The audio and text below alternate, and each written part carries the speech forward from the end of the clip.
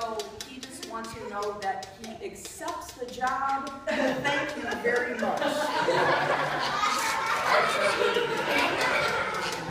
Um, That's, that's, that's, that's actually not, that's not why you're here. Animal ministry, what?